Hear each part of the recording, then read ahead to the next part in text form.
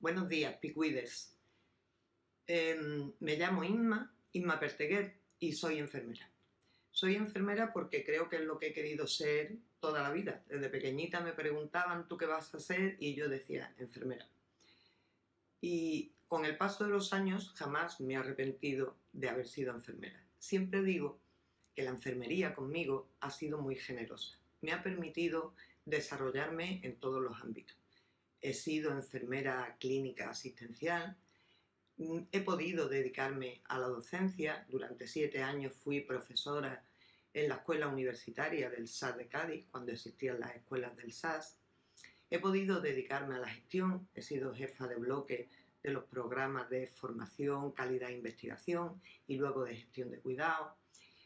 Y bueno, esa experiencia acumulada, ese aprendizaje de tantos ámbitos, la formación que he ido haciendo a lo largo de todo ese tiempo, hizo que llegado un momento de mi vida, yo pensase que mm, de alguna manera todo ese potencial que yo tenía debía ser aprovechado por este sistema y no quería dejar de ser enfermera asistencial. Quería seguir estando cerca de los pacientes, que es lo que más me gusta hacer.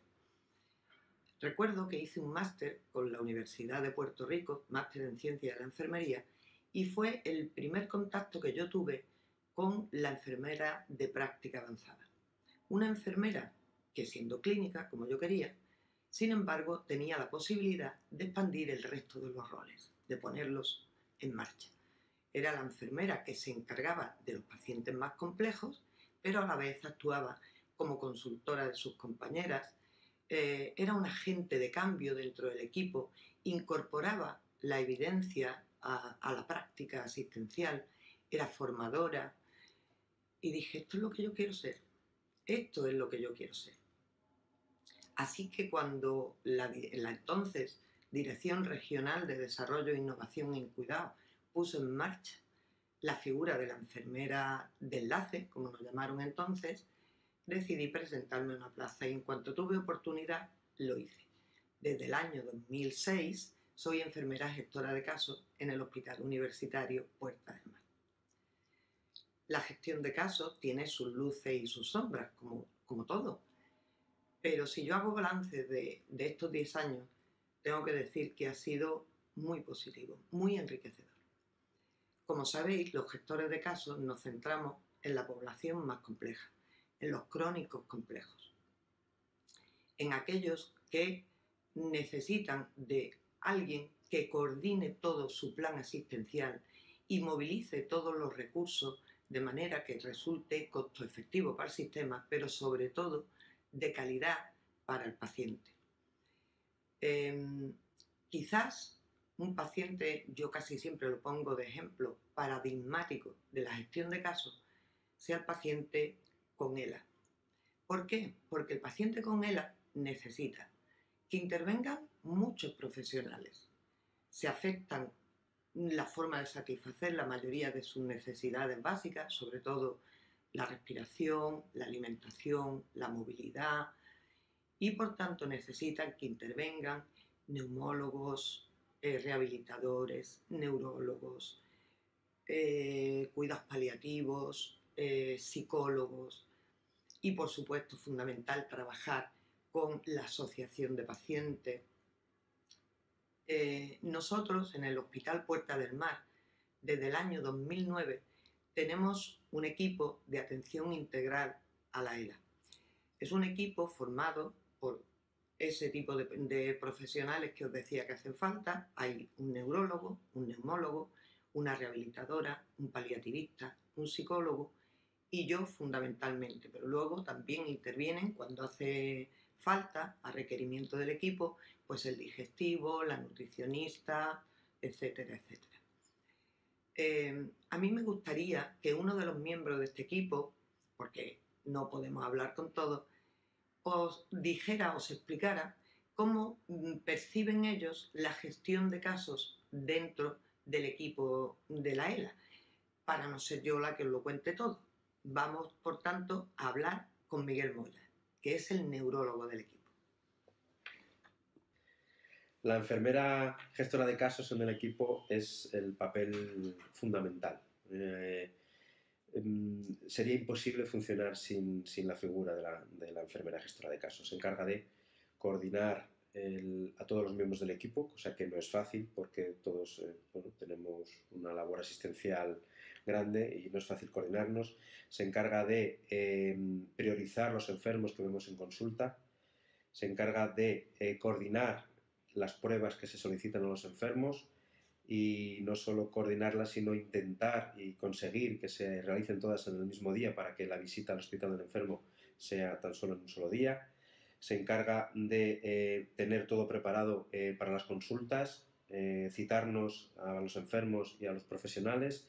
En definitiva, es la labor de coordinación fundamental para que el equipo pueda funcionar. Sería imposible funcionar si no fuera por, esta figura. De lo que os ha contado Miguel, yo solo quisiera destacar lo que para mí es la característica fundamental de nuestro equipo. La característica fundamental es que trabajamos en clave de recuperación, trabajamos con el resto de agentes sociales, sobre todo con la asociación en Andalucía, y trabajamos desde el principio implicando al paciente y la familia para poder hacer una planificación anticipada de todas sus decisiones. Trabajamos juntos en un acto único, vemos a los pacientes en una sola consulta, de manera que garantizamos un solo, eh, una sola comunicación, un solo mensaje. Todos eh, lo planificamos y lo organizamos antes de la consulta, con lo cual ya sabemos de qué vamos a hablar, qué vamos a abordar hoy con este paciente, en qué momento se encuentra eso hace que el paciente reciba un solo mensaje, cosa que creo que es fundamental para este tipo de pacientes. Para concluir, a mí lo que me gustaría es resaltar una serie de ideas clave. No voy a contaros lo que es la, gestión de casos, porque sería un rollo, pero sí eh, lo que a lo largo de estos años, de estos 10 años que os decía antes, que llevo como gestora de casos, Em, yo he creído que son las competencias claves que hay que desarrollar para trabajar como gestor de casos. Y hay que desarrollar una serie de competencias que nos permitan poner en práctica una, serie de sus roles. Uno de los subroles es el de, mediador. El gestor de casos tiene que trabajar como mediador entre el paciente y el sistema, incluso a veces entre el paciente y su propia familia, porque puede haber conflicto de decisiones. Otro su rol importante que tiene que poner en marcha es el de advocacy, eh, que del inglés se traduce pues, poco más o menos como la defensora o la abogada del paciente. El gestor de casos debe intentar garantizar que se cumplan todos los derechos del paciente. Y el otro, eh, pues sería el de COAS, ¿eh? En la educación terapéutica, el gestor de casos debe actuar como acompañante del paciente para que sea éste el que desarrolle sus propias potencialidades y sienta que es el que tiene el control sobre su propia situación.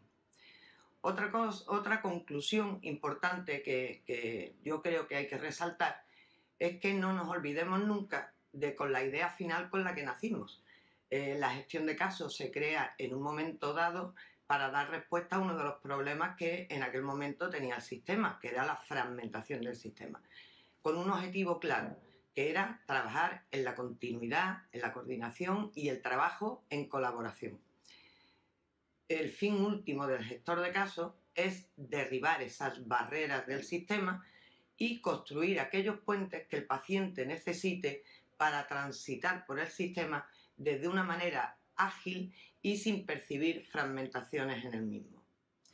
Bueno, picuides, me despido ya de vosotros y espero que eh, si esto que os acabo de contar y que he compartido con vosotros sirve para alguno de vosotros, estaré contribuyendo de alguna manera a ese conocimiento compartido que Picuida está intentando generar. Muchas gracias.